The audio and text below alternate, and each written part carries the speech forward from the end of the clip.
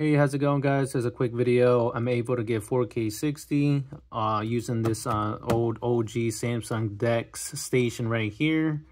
Um, I actually missed out on this when it came out. Samsung DeX just came to my radar a few months ago when I actually jumped on it.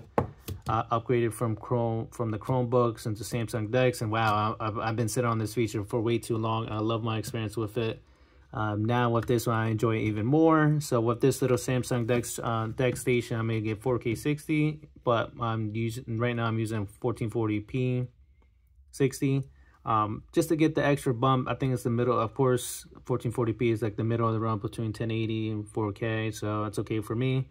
Uh, also, the font is a little bit uh, right in the middle too when it comes to size. So this is the Samsung De DeX station. I plugged it up HDMI into my monitor, charge the PD or power delivery to charge it. Um, slide this across and you get the little uh, fan here to cool the down the phone, charging port. Also, it does come with US, two USB slots. Um, this thing came out years ago, came out with the S9.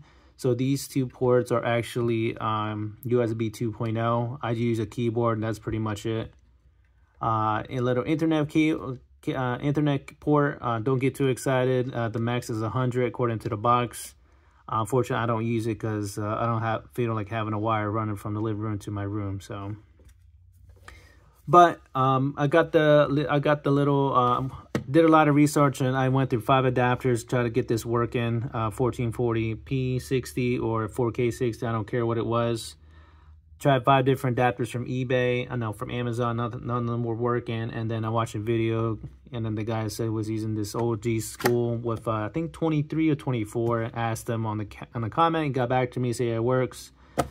I wasn't too excited. I wasn't too confident, but he was probably the one of the one video that my initial review that he was using the same setup I was using a phone, DeX station, a monitor. Everyone else was using a tablet or a tablet or uh, something else, a different monitor or a um, different monitor, different adapter and whatever the case is. So that was probably the closest video. When I got it, it worked. I was so thrilled. I'm started using it more now, so I'm excited.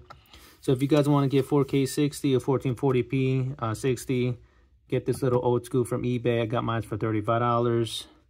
Um, this one didn't have a charging key, charging brick, which is fine. Got plenty, but uh, if you can, I think open new.